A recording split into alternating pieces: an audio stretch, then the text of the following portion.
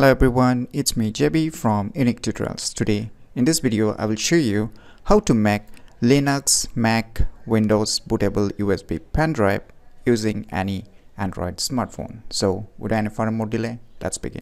So, first of all, you need to open the Play Store. In the Play Store, you need to search for one application name as EtchDroid. Just search this application name. As you can see here, EtchDroid. Just tap on it as I've already downloaded and install it so I'm not going to do it again. So you download and install it firstly. So after installing just tap on open. So on opening the application for the first time you will see this kind of interface so the first option you can see write raw image or ISO files. So you can see here this image created on Windows or Linux. And the below options for the Mac computers that is the Apple computers the DMG image files.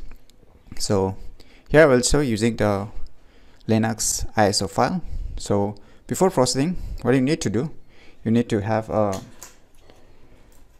USB OTG cable, just you can see here, to Type A, and you need to have a USB pen drive where you want to write your ISO files.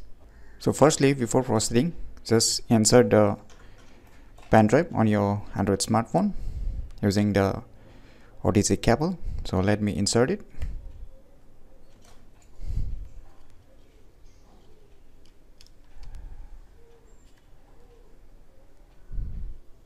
As I've inserted now.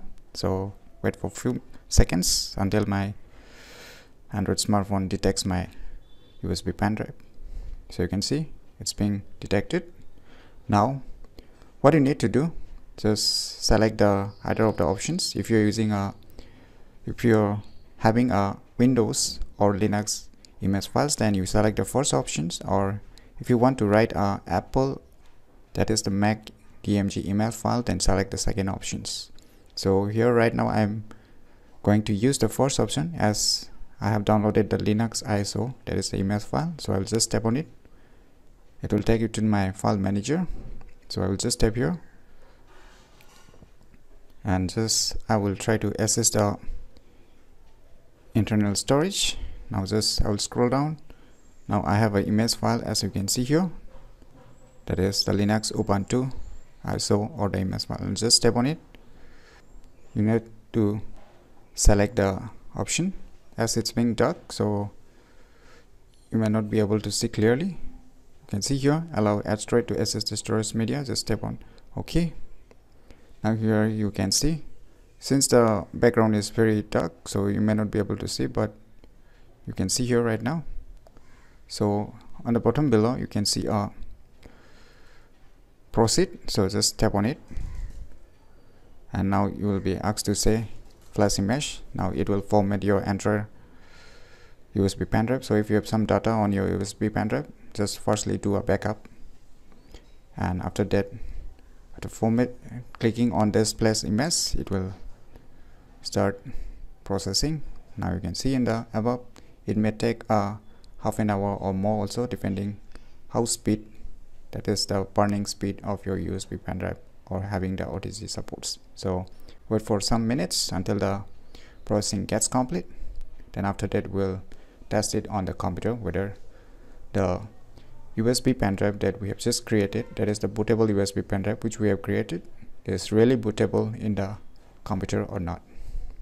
So wait until the processing gets complete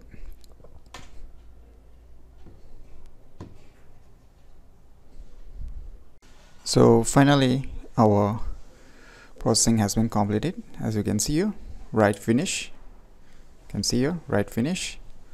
So now let's try this pen drive whether it's working as a bootable USB pen drive or not in our respective computer. Now on the boot up system you need to select or click the F9 once the your Windows PC boots up just press the F9 now select the USB storage. So in my case it's the generic storage media. Just hit enter. Now you can see the bootable USB pen drive which I have created. So you can see here which I have created USB pen drive so let's try to boot boot it up. Let me hit enter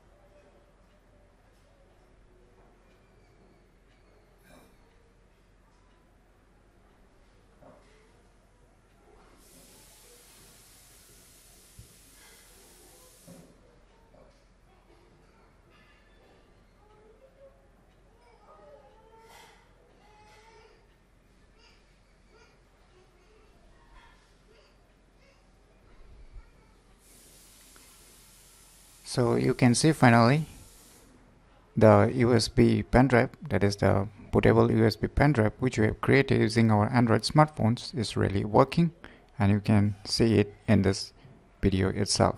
So using this application named as EtchDroid that you can use in your Android smartphones by which you can make a bootable Linux, Windows or Mac OS pen drive so if you never known about this cool application then try it out today.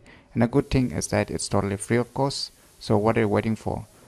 Download this very useful application today and try it out by yourself. So if you find this video tutorial useful click on the thumbs like button. And if you're new to our channel click on the subscribe button. And lastly thanks for watching